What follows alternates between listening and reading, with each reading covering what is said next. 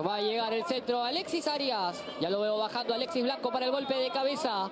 Está Torrejón también. Y aquí la tiene Arias. La va a poner arriba. Centro de Arias. Cuidado. El.